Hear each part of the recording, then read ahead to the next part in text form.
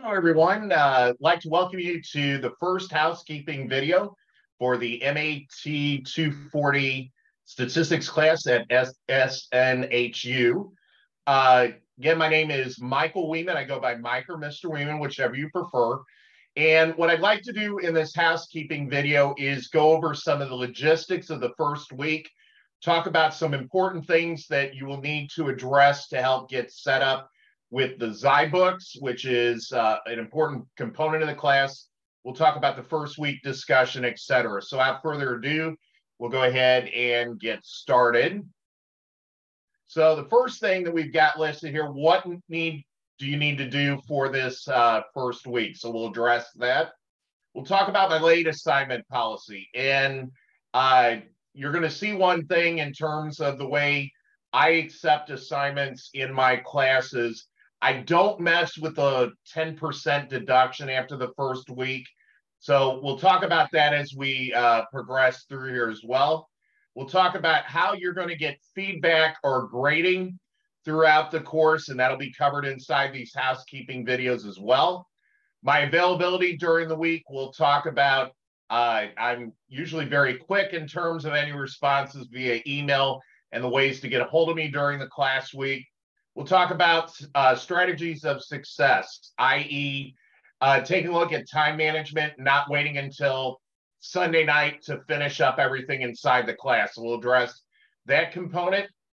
We'll also address uh, there will be videos out there that have been created by the department that I post underneath the announcements in terms of what are going to be called these challenge and participation activities. So I'll show you where those are located, and then a demonstration of the Zybooks in terms of that. So we'll cover everything relative to week one to make sure you're successful and get a good start inside of the course. Okay, so what needs to be done this week? You're going to review the first week one module, and we'll address that here later on inside the presentation. There will be a series of uh, the component where you get your guided practice and your challenge activities, i.e., these participation and challenge activities.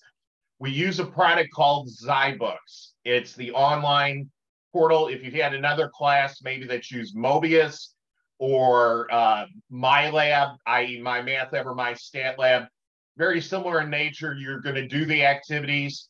And the nice thing about this is those participation and challenge activities those scores automatically get transferred into the grade book. So we'll talk about that later on inside the presentation as well. You'll have an initial post as well as two quality responses that you'll have to do this particular week, and we'll address that here coming up. And then uh, guidelines for both the course projects. There is a series of what I'll call homework assignments or projects that you're going to be doing uh, in weeks two, three, four, uh, five, and seven. One, six, and eight, those particular weeks have discussion for us. But we'll address all that as we progress along. Okay, so late assignment policy.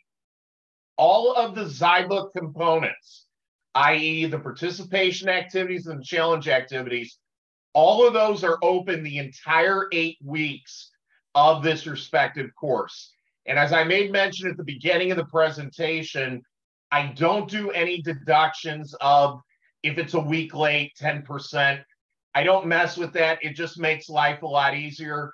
And that goes into, uh, I know from a student perspective, that we all have life happens events. So uh, I know that the kids get sick, you have something going on with jobs, something going on with your significant other. Uh, try to be as flexible as possible, but still conforming to where we're not grading every single component at the very last end of the class. So uh, Zybook components, uh, and we'll see that here as your first demonstration later on. You have the entire eight weeks to do all the participation and challenge activities. Those scores automatically transfer. So really, from my perspective, I don't have additional grading or feedback that I have to do every single week. Now, there will be boards out there for these guys that I will give some feedback on them, but in terms of the Zybook uh, components, those are open the entire eight weeks. Discussion forums is probably the most rigid component. These guys can only be replied to during the week they are assigned. And there'll be three times during the scope of the course where you have your discussion forums. That's week one this week, week six, and week eight. The, these are only uh, will be accepted in the week they are assigned. So the initial post needs to be there by Thursday uh, in week one by 11:59 p.m. Uh, Eastern Daylight Time or Eastern Standard Time, depending on when you're taking the class. And then week six and eight, 11:59 p.m. in your respective time zones. So uh, week one is a little bit more rigid due to attendance and enrollment concerns. Uh, that that has that's a firm date of 11:59 p.m. Eastern Daylight Time. But week six and eight, uh, it's 11:59 p.m. in your respective time zone. So uh, those are the first two components, and then we have a series of written what I'm calling written assignments. These are the written assignments or projects that are out there. You'll notice your first one's week two. You get till the end of week three. So I give you two weeks to finish up uh, any written assignment, and I don't mess with the 10% uh, late assignment policy on it. So uh, again, I give you two weeks. That's the life happens uh, that we talked about earlier. So you have the full two weeks. Now, at the end of week three, unless there's an extenuating circumstance, a zero would be administered on that given assignment. So while I'm flexible, there is manual intervention from the instructor perspective in terms of grading. So I allow for two weeks but once the end of week three rolls around, there wouldn't be any further submissions unless it's a case by case. You're in the hospital week two, you know, I get that. We may extend that a particular week. If you come up to me Sunday night of week three on that assignment and say, hey, I ran out of time, the answer to that's probably going to be no. And the reason being is uh, as an adult learner, I feel that students should be responsible for time management. Obviously, I know we have other external factors, as I mentioned, kids, jobs, significant other, et cetera, that we all have going on in our lives. However, there is a timeline that things need to be get done during the eight weeks within the respective course. So I give the full two weeks. And again, week three, you'll notice the end of week four, week four on that project, week five, week five at the end of six, and then week seven's project eight. So you get the full two weeks on those given assignments. So, and again, if there is an exception, please send me an email. We can discuss that on a case by case basis. But it, it generally is an extenuating circumstance, something that's major military deployment, sickness, death in the family, those types of things. But typically speaking, everything's got to be done by the last day of the class. At, at the end of week eight, I'm expecting everything to be done regardless of the situation. So that takes that into account. And then feedback and grading schedule. When will you actually see feedback on the material? Zybook participation and challenge activities. The scores automatically transfer from the Zybook into the class portal gradebook. Now, something I want you to keep in mind on these guys. On the participation and challenge activities, you can go in and out of those items as many times as needed. But let's say you only do a handful of the participation and challenge activities. You may see a low score out there, but you've only earned one or two points out of 25 or one or two points out of 50 points on a respective assignment. No need to panic or worry because as you continue to progress through those participation and challenge activities, the scores will automatically update. So there, there's no need to, you know, uh, freak out. You'll send me an email, say, "Hey, Mike, Mr. Wiemann, I only got two points on this assignment. What the heck's going on? I'm already failing it." You're not failing it because one, you have the full eight weeks to get any participation and challenge activity done, and secondly, the scores automatically update. So if you complete something, the score is going to update. Then you complete some more, score is going to update until you've completed all the respective participation and challenge activities, then you will see the full score uh, earned out of those guys. And we'll talk more about that in the demonstration of the Zybook later on. There is going to be a video section. I'll demonstrate that inside the class portal. Uh, the participation activities are pretty much uh, guided practice. In other words, if you click the wrong answer, then you click the right answer, you end up earning the points for it. The challenge activities involve mathematical calculations that are in the realm of statistics that we're working on. inside the class, you'll see the demonstration of the challenge activities inside of a video, either from another instructor inside the department or something that I've created. But I'll demonstrate from week one where to go see those demonstrations so that you do get a step-by-step process. And then at the end of the presentation, how do you get the points on those challenge and participation activities? We demonstrate later on in this presentation. All right. Discussion forum posts. Uh, as I made mention, this is something that is probably the most rigid in terms of uh, our grading inside the class for week one. Initial post needs to be done by Thursday, two quality responses done by Sunday at 11.59 p.m. That feedback will be available no later than Tuesday of week two. Typically, I do them on Mondays, but uh, I do have until Tuesday a week two to get that feedback out there. But typically, you can look sometime Monday morning uh, out there, and I will generally have the feedback on those given discussion forums. If for some reason it's going to be delayed, I will post an announcement say, hey, due to my life happens events, I, I'm going to need an extra day to post those uh, feedback. But typically, Monday morning is when you're going to see the majority of the feedback that I do. It's just generally the the time window that I do the majority of feedback when I'm going through things inside the class. And then, uh, how do you get a hold of me? Uh, please use email. Email is probably going to be the fastest way to get a hold of me during the scope of the class. So you have the m.wiemann at snhu.edu.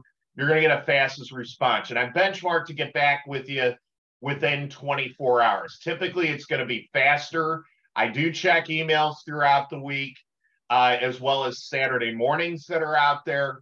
Uh, and typically you'll get a response back within 24 hours. So I don't want you hanging and waiting on a response from me because I know your time's valuable as well as the instructor faculty's time is uh, valuable as well.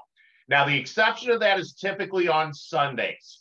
Sundays, if you send something in the morning, odds are you're probably not going to get something back until Monday as adult learners get the flexibility of doing the work the entire scope of the week, I have to have a day that I basically pull away from facilitation outside of class. And that's typically going to be on a Sunday. I'm usually very active Monday through Saturday, but Sundays, if you send something, I may check Sunday morning. But outside of that, if you send something during the day on Sunday, odds are you're probably not going to uh, see a response until Monday. Now, uh, again, if I run into a Life Happens event, I will post an announcement say, hey, I'm not going to be available on a Wednesday. You won't get a response until Thursday. But my benchmark is to get back with you within 24 hours. So do keep that in mind. On to the next. Now, how are you successful inside the class?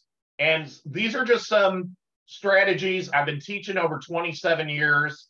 Uh, I really love, I have a passion for math, statistics, computer science, the things that I teach and facilitate.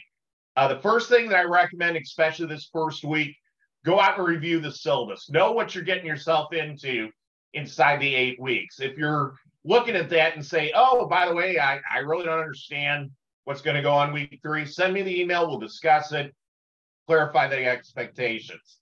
The second bullet point here is time management. Now, I get the life happens events for everybody. Uh, and I totally understand that maybe Saturday, Sunday is the only time that you have time to do the classwork, but that's really not conducive in terms of getting the full potential and getting things done. You may only allocate, say, three hours on a Sunday night, and you may not have time to get things done. So spread things out throughout the week. You know, take a look at, you know, allocate a half hour, 45 minutes, an hour. Go out to the class portal and say on Monday and Tuesday and say, hey, you know, it's time to, you know, I need to allocate. I got this homework assignment. I got these participation challenge activities. Set up a schedule, work it throughout the week. That way, if it's come Wednesday or Thursday and you're in week three of the class and you're still stumped on something in week two, we got time to resolve this. If it's Sunday night at 10 o'clock Eastern and you're still stumped on something, odds are I'm not going to have time to respond back to you within those two hours. Uh, you know, I I'm typically an early bird. I'm up four or five o'clock in my time zone. But if you're sending me something 10, 10 30 at night, odds are I'm probably already in bed at that point. So uh, please keep that in mind. Spread it out throughout the week. You know, engage that time management so that you are successful and not waiting until Sunday late night trying to get something done and then you run out of time or bandwidth to get it done as possible. Please contact me if you've got questions. Odds are, uh, if you have questions, uh, or there is the general questions forum that's out in the class portal. If it's not grade related, post it out there. Odds are, if uh, if you got that question, probably others inside the class has that same thing as well. So don't hesitate to contact me. I did list, or in that earlier so slide, let me go back. Let me go to the previous. Well, not the next. Whip. Go previous, previous. Here we go. I do have a Google phone number. If you want to leave a voicemail, that's fine. Uh, but this phone is not directly answered. This is just an alternative way to get a hold of me. What happens is it goes to voicemail. I get an email saying that you called, and then I will call back within a reasonable amount of time with any question or concern. But this number is not automatically answered during an office hour or anything along those lines. But uh, if you want to call, that's perfectly fine.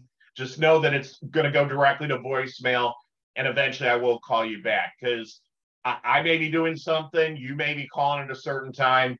Uh, your fastest way again is going to be email. Now, if we need to meet Zoom or Teams, I'm good with that too if we need to. But I like to try and get things taken care of via email a, as much as possible. We already addressed that. Okay, on to the class portal. Let me close this out. Let me get into class portal. Now, if you're watching this video, this may not be the exact class, but it, it applies still to this MAT 240 Applied Stats, the class that you're currently enrolled in. So I'm going to go into course menus and learning modules. And I'm going to go into the first week since we're in week one. I'm going to bring up a couple things as well to take into consideration. The first of which, let's take a look at our respective discussion forum. Okay, so the discussion forum for this week, we're going to be taking a look at uh, identifying things that would potentially be inside of the population, what's inside of a sample. A lot of terminology this week relative to the realm of working with statistics. So uh, you can review the demographics here in terms of that, and you're going to be answering the corresponding question that's here. So if I pull up the discussion rubric. So it's going to tell you what needs to be done. It says for the initial post, post a one to two paragraphs in module one. It's got to be completed by Thursday at 11:59 p.m. Eastern, and then module two through eight by 11:59 p.m. in your time zone. And again, you have to do two quality responses by Sunday. We've already addressed that earlier. And this is how it is scored. So if you cover everything inside, it's exemplary. So, in other words, if you address all of the initial components of the initial post, it's going to fall into that.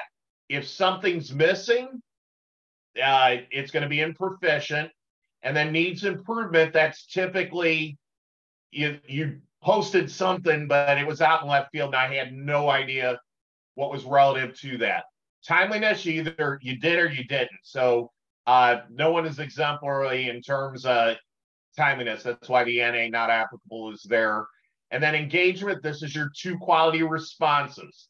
So typically, if it's something where you've addressed what those responses are supposed to be, it's going to fall into here or here. If you did what I call the good job post, where you say, hey, you did a great job, the one sentence, odds are it's going to be down here in one of these guys. So please address, and I'm going to go back to the other screen here in a minute. Make sure you're addressing everything that needs to be done in the initial post, as well as the quality response. And then the writing and mechanics, making sure that IR student is not part of that post. You've addressed any spelling, mechanics, graphics, or uh, grammar concerns, rather. Uh, and then if anything needs to be documented, that you're using APA standards across that. So it will tell you inside of that initial post or responses if something truly needs to be documented. If it's not common knowledge, you need to make sure that you've got your corresponding documentation that's out there. So let me go back to this one, and then it's going to say inside here, it says in your initial post, make sure you address all four of those bullet points. So in other words, you need to introduce yourself, uh, describe a time, personal. So make sure you've addressed that component. Then you're going to do uh, describe how a student would uh, take the sample, the student population that would not represent it and then answer the third question that would represent, and then look at uh, two sample methods, either random, systematic, clustered, stratified, or convenience. All five of those are going to be addressed inside of the Zybook for week one, and we'll get to that here later on. So if all four of those bullet points are addressed, you get to full credit on the initial post. And again, if it's there by Thursday at 11:59 p.m. Eastern Daylight Time. And then in the responses, make sure that you uh, choose two different sampling methods among your peers. Identify the bias. In other words, what's what's causing the results to be skewed in that result. In that instance, you'll need to take a look at as well. So you're using that PDF, initial post, your two quality responses out there. And again, make sure you're addressing all of the components relative to that given post. All right. Next item is the Zybook, and please pay attention to this next thing. To start your uh, participation and challenge activities, you are going to want to make sure that inside this learning module, you're clicking this and you're clicking that. What this is going to do the first time is set up a link between Zybooks and the gradebook for that assignment. So, in other words, if you only click on participation activities and you don't click on challenge activities, scores on the participation activities are going to sync between the two, but the challenge activities will not. So, what you're going to want to do, you'll click on participation activities. It's going to open up the corresponding uh, item here in a second or two. And this will be what the Zybook uh, looks like relative as soon as it loads in terms of what has to be done relative to that. If I come back to module one, I'm going to want to also, as I'm demonstrating here, click on challenge activities. You need to do that at least once every time for a participation in challenge activities. So for week one, you got to do both of those links. It'll sync out the grade. Week two, do the same thing. Click on those links because it will not show the grade inside the class portal unless you do that. So, okay, so let's go back. I'm going to go back to participation activities here. Module one, click on participation activities, and let's demonstrate the Zybook.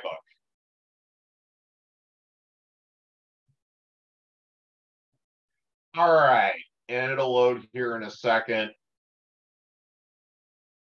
Assignments.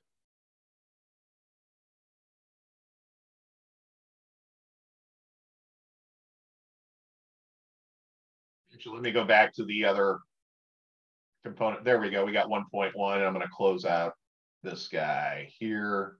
Okay. So here's the deal.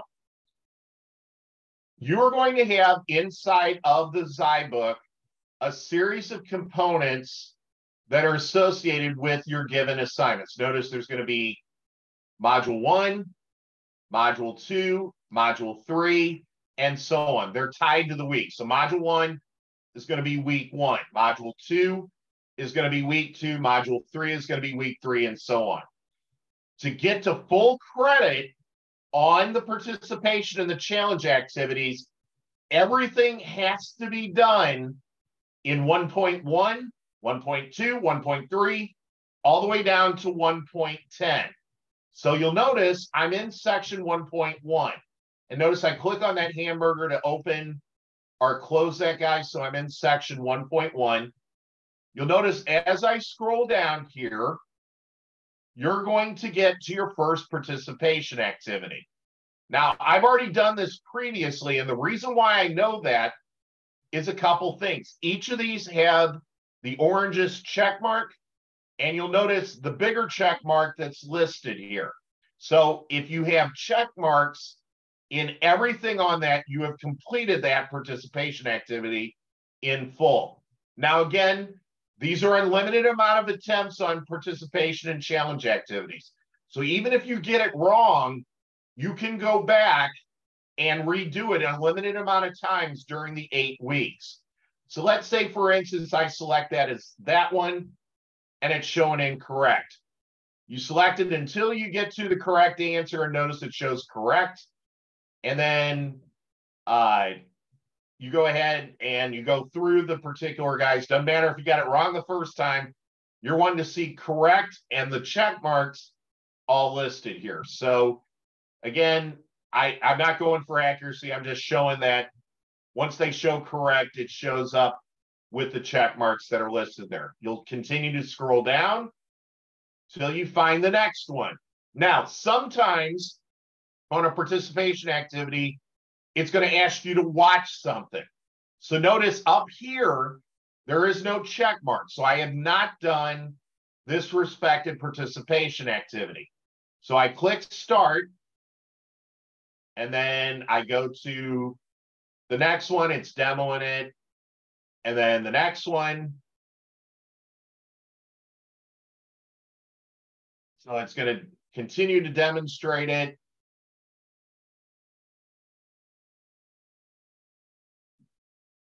And let me make sure I got all parts there. It's going to demonstrate it. Part two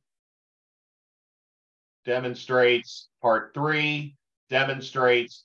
Once you have watched it, notice the check marks now there. That indicates you've completed that participation activity. Sometimes participation activities are drag and drop. So uh, in this case, it's going to tell you whether it's right or wrong. It's not right, so drag it down there, correct.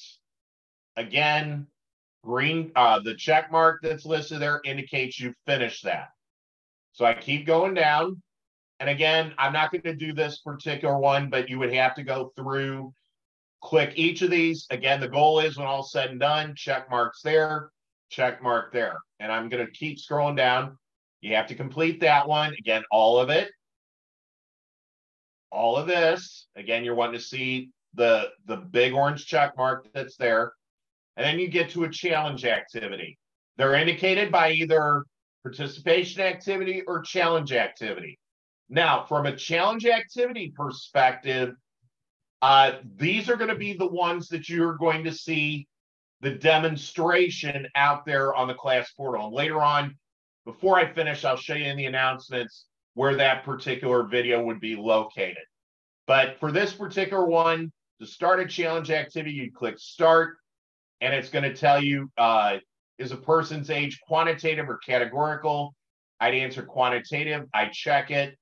It's going to tell the green check mark, and you notice you got a blue check mark. You, typically, orange is participation, Blue is challenge activities. So you'll see the blue check mark. You'll notice that that has been completed. Now, as I made mention, to get to full credit, you have to do all participation and challenge activities from section 1.1 all the way down to 1.10. So all of these guys have to be finished to get to full credit.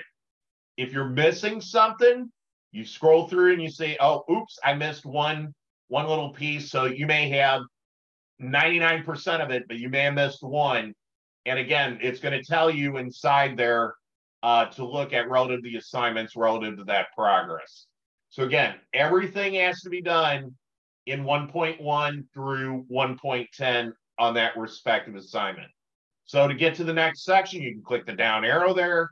You can come over here, select 1.2, same song, different verse. You're going to go through keep scrolling through until you get to a participation activity and then answer the corresponding questions out there.